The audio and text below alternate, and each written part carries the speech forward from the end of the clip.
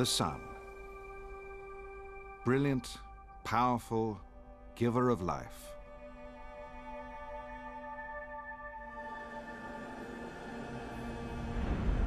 But this is the story of how the sun will one day become our enemy. If we are to survive, we'll have to leave the Earth. We'll need to seek out new homes in amazing new places.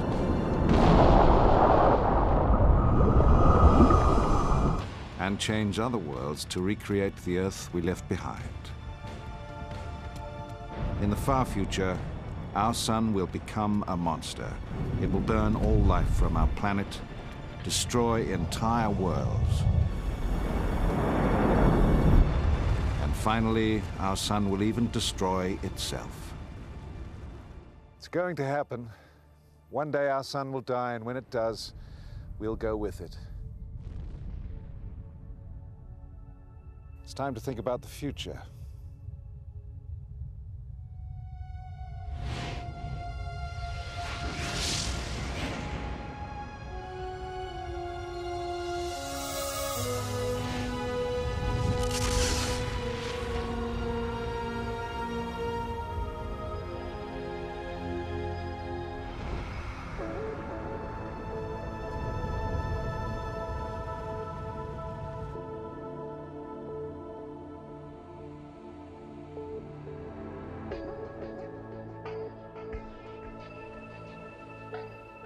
For five billion years, the sun has nourished the Earth.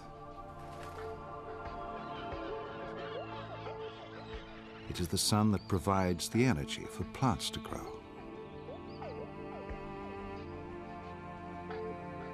It is the sun that makes life on Earth possible. But that will change.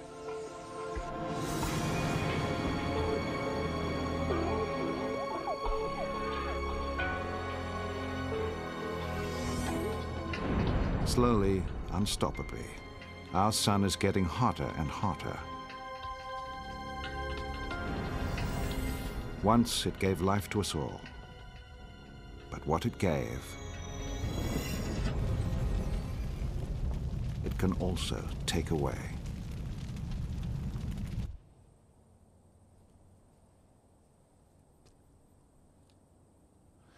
If human beings are to have a long-term future, we must leave our planet behind and search for new places to live. One day, our homes will be out there,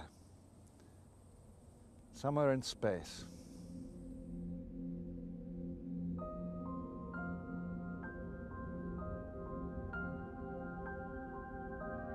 In the distant future, this could be our home. Out here in space, we'll have to seek refuge on new worlds where we could settle and live.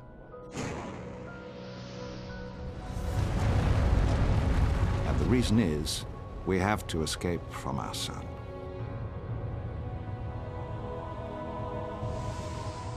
Some new worlds may be difficult to adapt to. Others may be very like our own.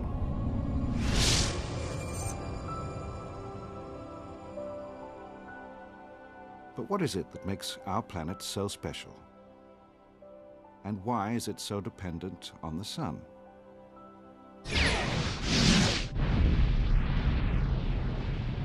Here is the sun as it is today. In the center of our solar system. The Earth goes round it about there. There are the other planets.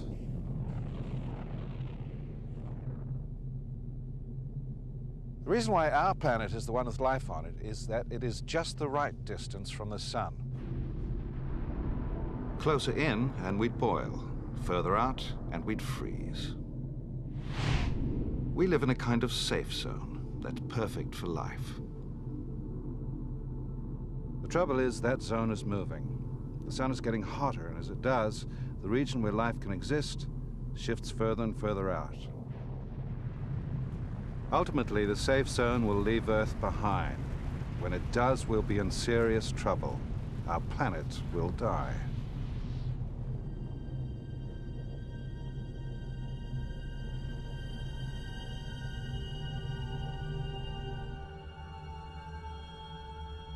This is how it will happen.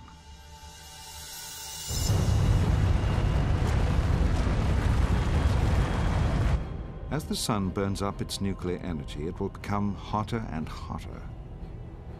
By the time it's 5% hotter, plant life everywhere will be dying.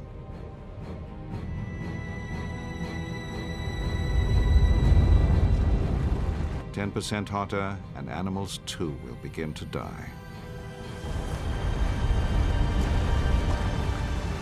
Fifteen percent hotter, rivers and oceans will evaporate, creating huge cloud banks, trapping more and more heat. In the far future, life on Earth will become impossible. And there's nothing we can do about it. What will happen to us then?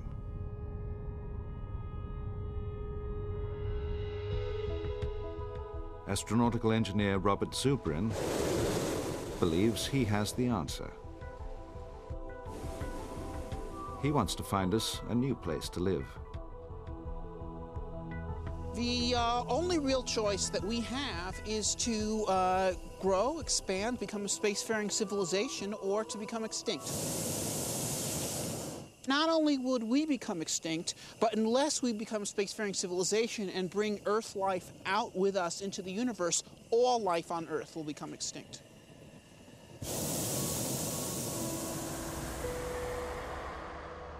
Robert Zubrin's goal is to make us a home on Mars. Today, Mars is cold and lifeless. Temperatures regularly drop to 100 below freezing, and its atmosphere is 200 times thinner than our own. A person standing unprotected on the surface of Mars would be dead in seconds.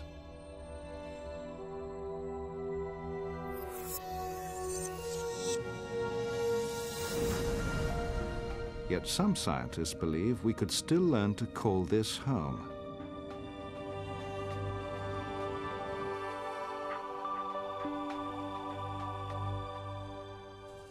Mars is the only other planet in our solar system that has on it all the resources needed to support life. It has water. It's frozen to the surface as ice and permafrost, but it's there. It's got carbon dioxide in the atmosphere. It's got nitrogen in the atmosphere. And if humans go to Mars and develop the craft of how to use these resources, then we can make Mars a place where human beings can sustain themselves. We can make a new world for our posterity. No species can expect to last long if it stays in the same place. In a very real sense, humans are not native to the Earth. We're not native to North America. We're not even native to Europe. We're native to Kenya. That's why we're tropical animals with long, thin arms, no fur. But humans were able to leave there and colonize the Earth by becoming creative. Man the inventor. That's how we coped with Ice Age Europe, and that's how we're going to cope with Mars and the planets beyond. In a remote part of Canada, researchers have already been preparing for life as pioneers on Mars.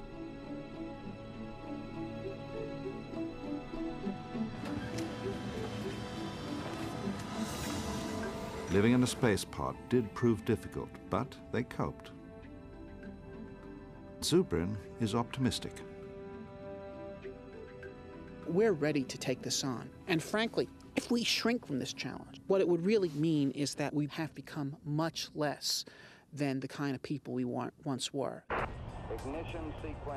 We are much better prepared today to send humans to Mars than we were to send people to the moon in 1961 when John F. Kennedy started the Apollo program. I believe that this nation should commit itself to achieving the goal of landing a man on the moon and returning him safely to the Earth.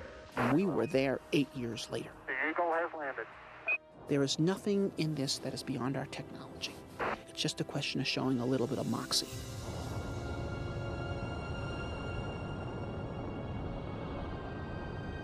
For Zubrin, it's not the technology that's lacking, it's the will. But technology and willpower alone may not be enough.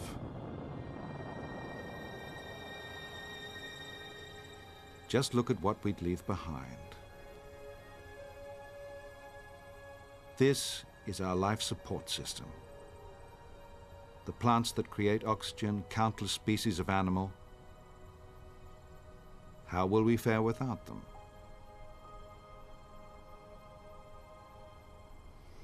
Our survival depends on the living things we share our planet with.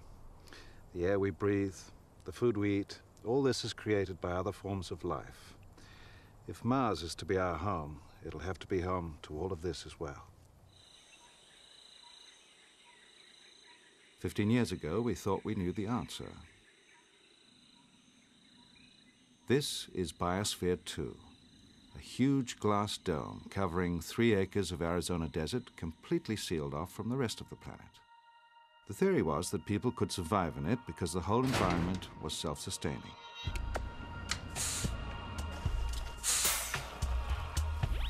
Trees would provide oxygen, artificial clouds and oceans would regulate the climate. But the experiment failed. Food rapidly ran short, extra air had to be pumped in. On Mars, that failure would have killed them all. If we're ever going to call the Red Planet our home, clearly something's going to have to change. And the easiest thing to change may be Mars itself.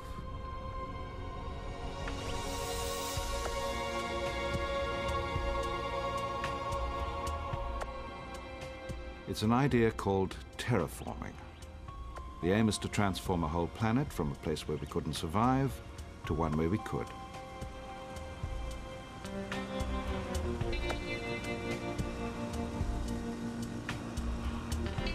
NASA scientist Chris McKay believes we could turn Mars into something surprisingly like Earth.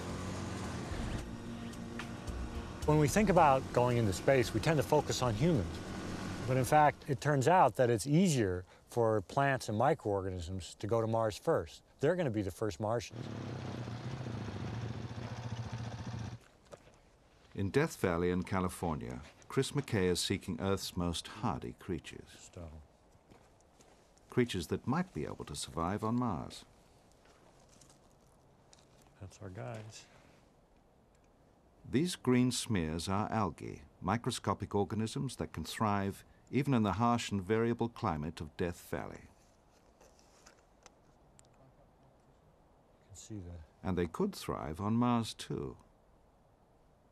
Sucking in its thin and unbreathable atmosphere of carbon dioxide and pumping out oxygen in its place. Except at the moment, even the algae would find Mars deadly. The first step to make Mars habitable, habitable even for the toughest little algae, is to warm it up a bit. Right now it's too cold and too dry for any type of life from Earth. Well, warming up a planet is something we know how to do. We're doing it on Earth. The pollution on Earth would be the medicine on Mars. It's a strange twist. The best way to make Mars a place we could live may be to pollute it.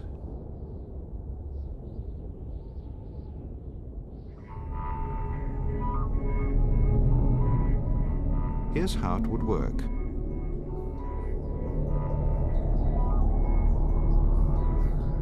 First, a spacecraft has to drop off the pollution-creating machines.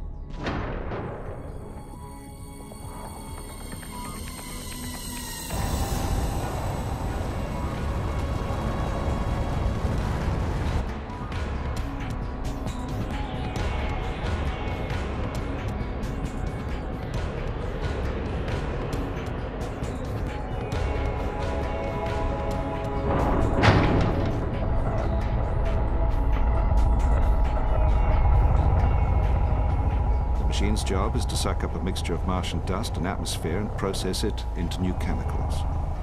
It then belches out these greenhouse gases to warm the planet and dark soot to soak up heat from the sun.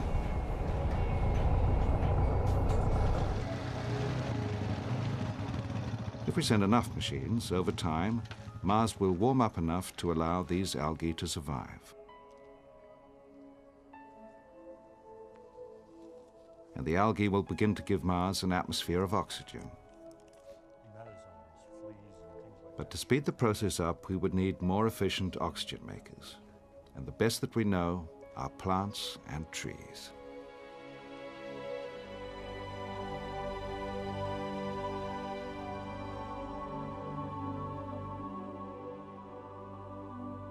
The real goal to making Mars breathable is to get trees growing there. Those trees, those will be the ones that make the habitable world. And then things will really start happening.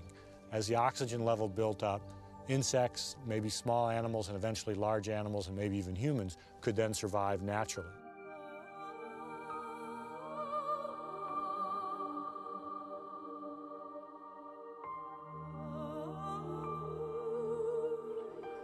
We could change Mars.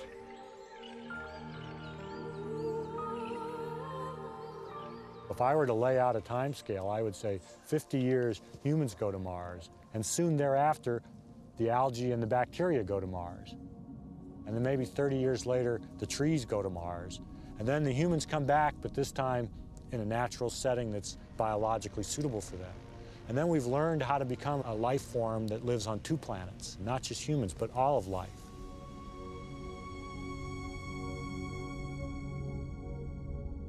It's a bold and astonishing plan. If it works, we could turn Mars into a planet very much like Earth.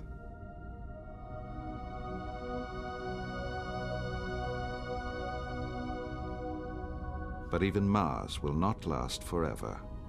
Even there, we could never escape the power of the sun.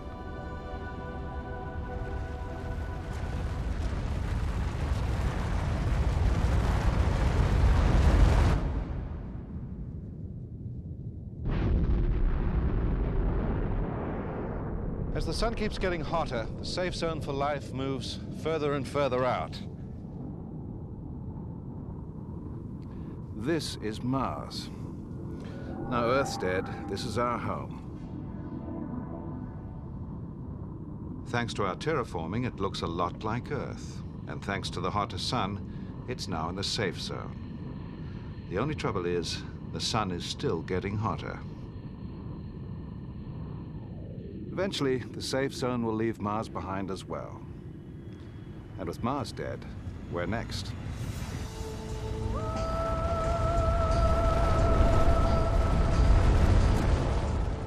Once again, human beings will be looking for a new home.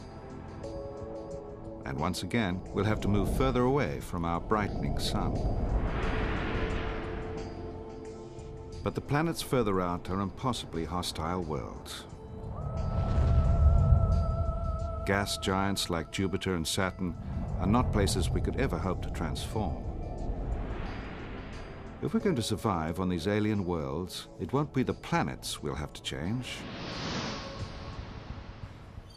We may have to change ourselves. David Brin is a science fiction writer. He imagines future worlds for a living. Well, it's a big universe out there, and the Earth is a very specialized environment. But we're not going to find many Earths out there. If we want to spread out into the galaxy, then we're going to have to adapt to the universe.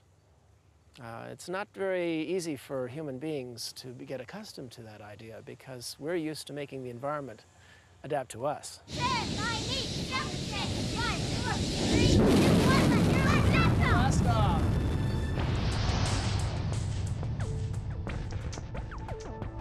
As the sun becomes hotter, new worlds will warm into life. This is Europa, one of Jupiter's huge moons. We know it today as a frozen planet, airless, with a crust of iron-hard ice. But in the future, it will be something else entirely.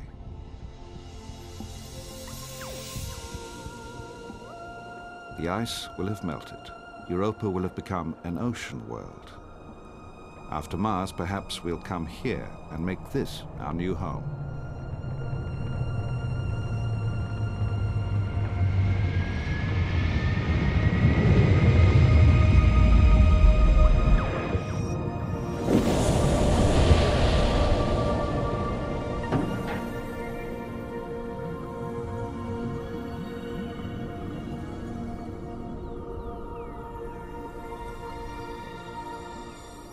Could live in cities at the bottom of an alien sea.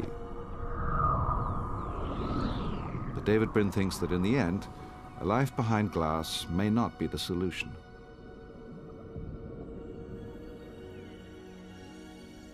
Now we're thinking of going to other planets.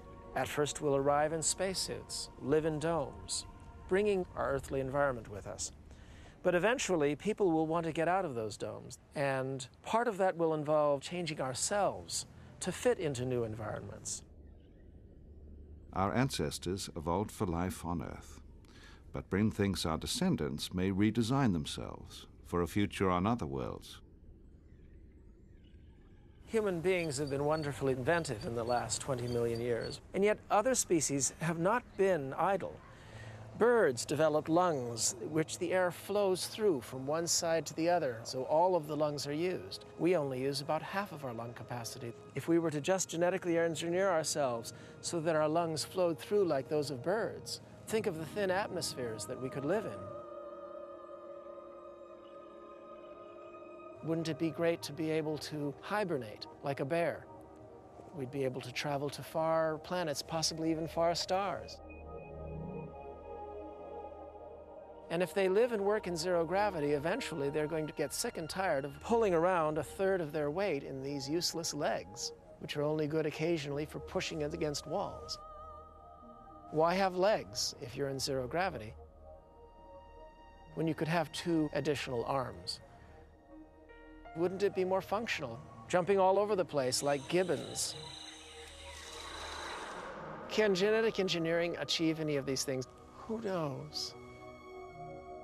We're just at the beginning of this grand adventure. But it's an extravagant version of tomorrow that we should be thinking about. Wouldn't it be a desirable thing? If they're happy, if they're creative, if they're productive, if they're part of a great civilization, vive la différence.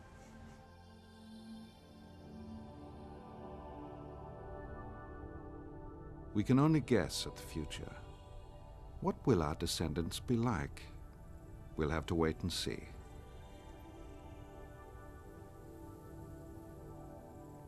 And where will they live? Because the only certainty is it cannot possibly be here.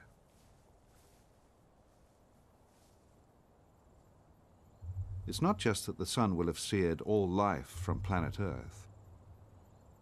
It's that the planet itself will no longer exist. Everything we know will have disappeared.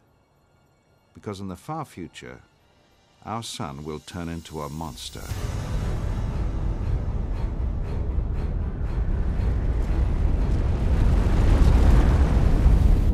It's going to consume the solar system.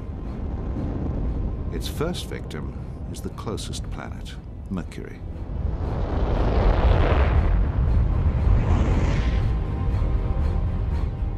Next, Venus is transformed into a molten fireball.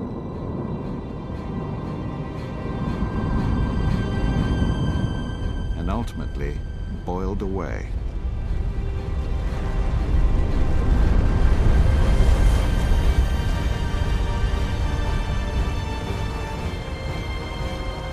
And still the sun grows. It's 160 times its original size, 2,000 times hotter. And its next victim is the Earth.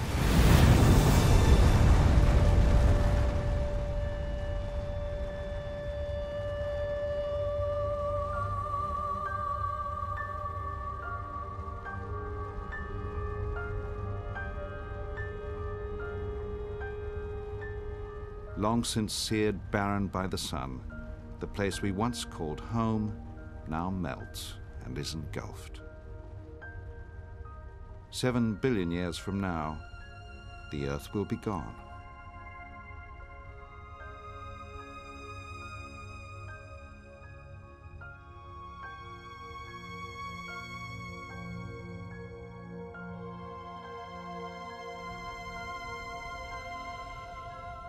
For us today, one question remains. Is the future of our planet also our future? Can we really survive the death of planet Earth? Look at where we stand today. Look at how far we've come. Compared to the world of 100 years ago, we're living in a science fiction universe with skyscrapers 100 stories tall. Who can believe, looking at that, that looking forward to the next 100 years, there will not be a new branch of human civilization on Mars. And look back a thousand years now. The world lit only by fire.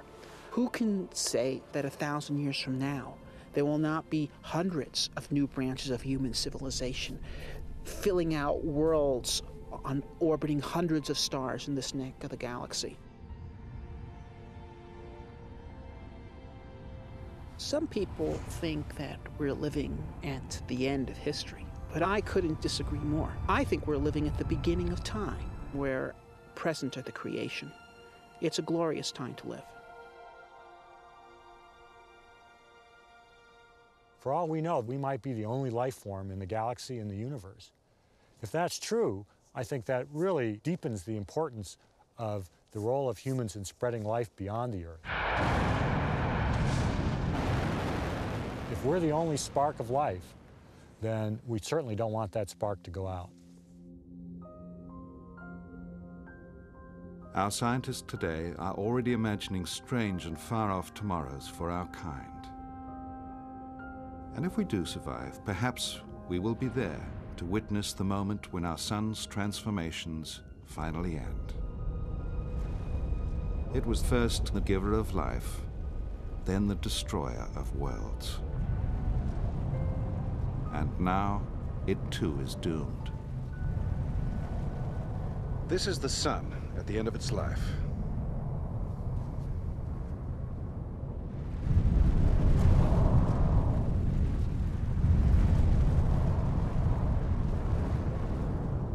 Layer after layer, it is blowing itself apart. Huge clouds of star stuff drift out into space. It's a slow process, it takes millions of years. And what follows is inevitable the death of our sun.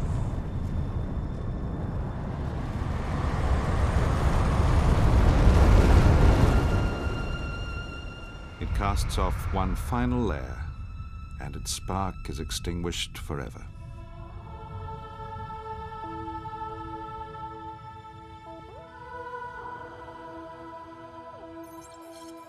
So the sun will one day go out. Will that be a significant event to our descendants billions of years hence? I don't think so. They will have observed similar phenomenon on innumerable other stars long before that time. But if they did think about it, they would note with gratitude that their ancestors did not stay on that one little world and await their doom, but rather spread forth into the universe and made their life possible.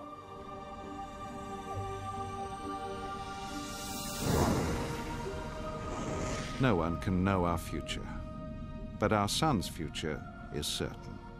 There will come a time when we must leave our Earth behind. Our planet will be gone. Our home will be in space.